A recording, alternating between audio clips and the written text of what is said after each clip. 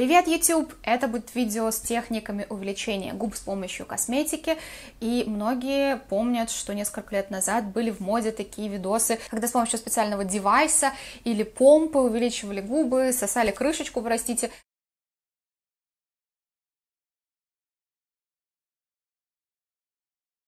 Так или иначе, в Инстаграме все время мы видим губы еще в два раза более большие, чем я сейчас себе накрасила, и многим очень интересно попробовать, ну или хотя бы, может быть, кому-то интересно узнать, как же это на самом деле делается, так что давайте доставать косметику и пробовать.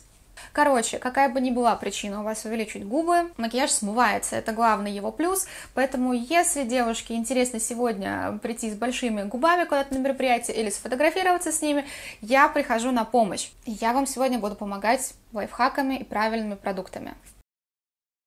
Итак, начнем с первого трюка, и это скрабирование. Я буду использовать зубную щетку, потому что этот вариант, который, в общем-то, у всех есть под рукой, и, соответственно, вам понадобится салфетка. Если у вас очень чувствительные губы, то нанесите бальзам сначала. Если нет, то просто ваша мягкая зубная щетка и слегка поскрабируйте. Щетка должна быть чуть-чуть влажная, или можно ее смочить, но будьте очень аккуратны, такое шлифующее круговое движение. Или если у вас есть скраб для губ какой-нибудь, вы можете использовать его, например, у меня от Dior, но даже если скраба нет, то свой бальзам вы просто смешаете с сахаром. От одного этого шага уже губы становятся немножко пухлее и немножко ярче, потому что проливает кровь, и к тому же вы подготавливаете губы к последующему макияжу. Мерлин Монро, например, наносила 5 продуктов, 5 разных помад слоями, и сейчас тоже многие голливудские визажисты красят все, что есть в косметичке на губы, но на самом деле можно сделать немножко по-другому. А, помогут две вещи в составе средства, это либо пептиды, либо ментол. Ментол используют достаточно многие марки, некоторые дают очень неприятный эффект такого жжения, и более редко используют как раз-таки марки пептиды.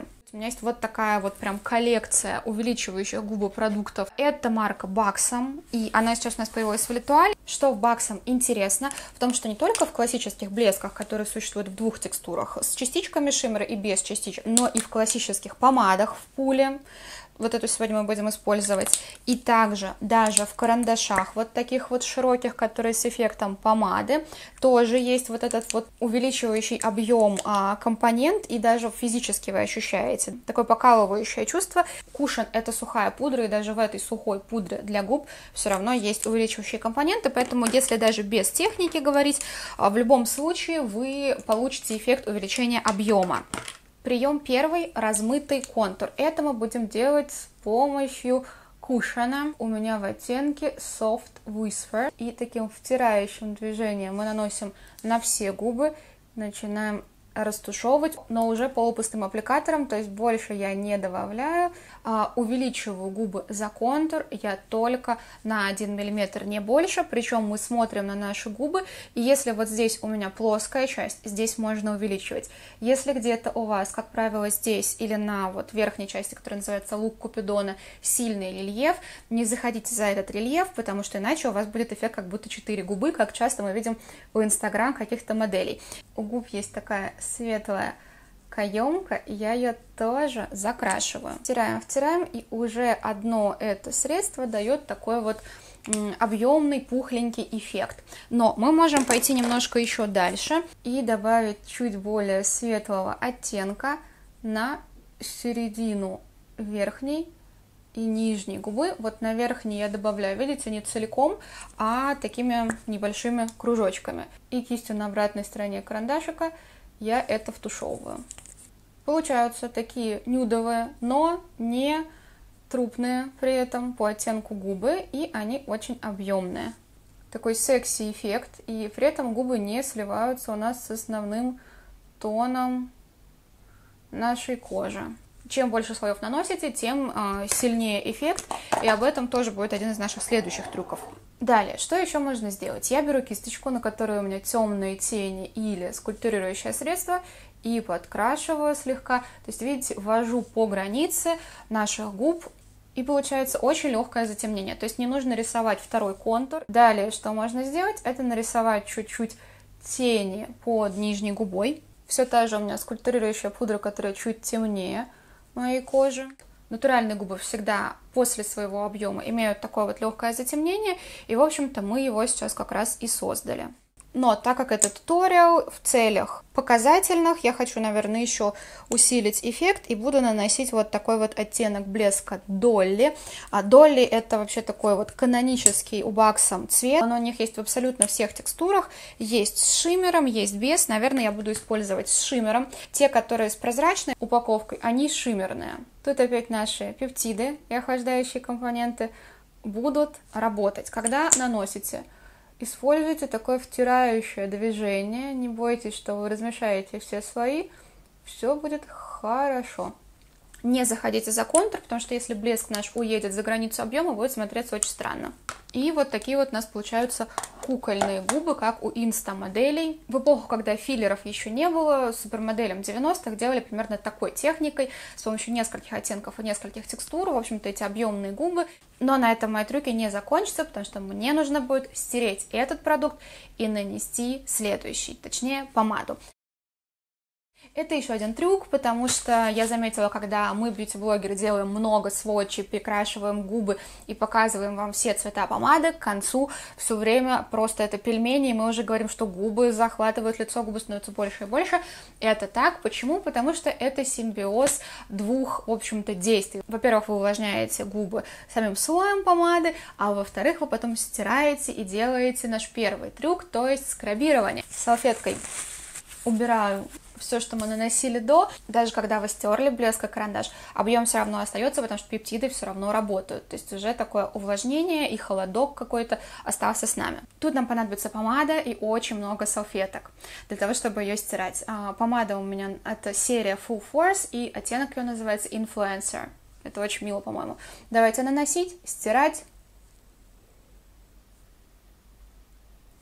Помада увлажняющая с сиянием, лайфхак для девочек, у которых есть асимметрия, например, если одна половинка меньше, чем другая, или там уже, больше, та, которую вы хотите сделать чуть больше, вы можете чуть заходить за контур для того, чтобы именно эту, которая меньше, увеличить сильнее, а вторую не сильно. Зарисовывать, обрисовывать, и они у вас после нескольких перенанесений станут примерно одинаковыми.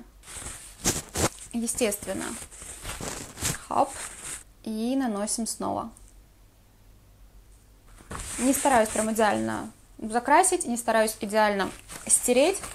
Просто закрасить и просто стереть уже достаточно. Но уже от нескольких перекрасов у нас получается эффект, как будто бы они такие зацелованные с натуральным якобы цветом, хотя это добавление искусственного, просто от каждого раза добавляется немножко пигмента. При необходимости, если где-то понимаете, что перестарались, добавьте немного консилера и можем красить наш блеск. У меня оттенок Natalie. Свои помады, которые потихоньку впечатались в губы, дают эффект тинта.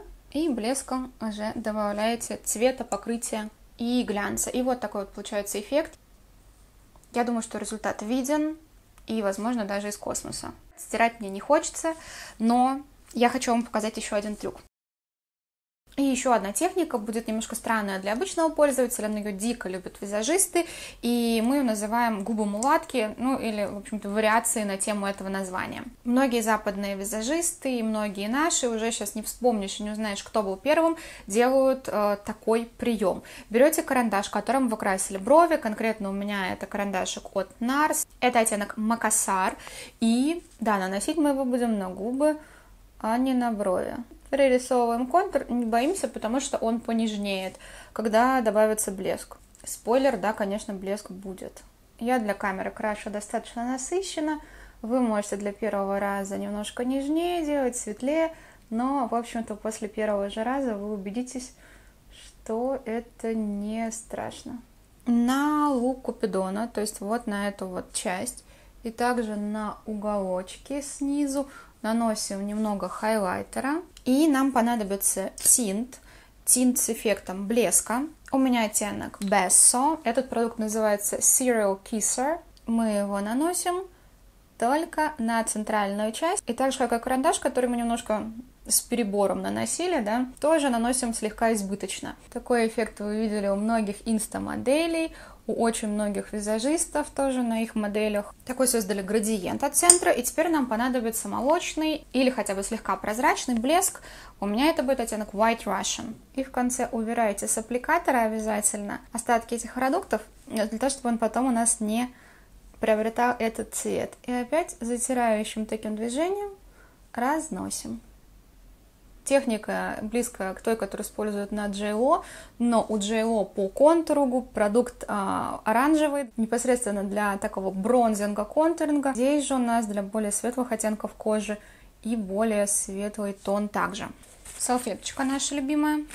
И вот такой у нас получился последний вариант. Напишите мне, пожалуйста, какой из вариантов вам понравился больше, потому что вот этот, на самом деле, мне кажется, самый эффектный. И, естественно, в любой из этих техник я уже представала перед вами в старых видео, но так много комментариев по поводу того, надула губы, накачала, никогда не было, как вот в одном единственном видео, или я сняла два в тот день. Короче, однажды, когда я носила именно вот такой макияж губ, ой, хотя я ничего не поправляла очень-очень давно с помощью филлеров, было много комментариев, надула, накачала, это делается очень просто. Это рисуется все и потом смывается. Вот, спасибо за то, что посмотрели. Напишите, если у вас есть какие-то еще трюки для увлечения губ в комментариях. И пока-пока, до новых видео.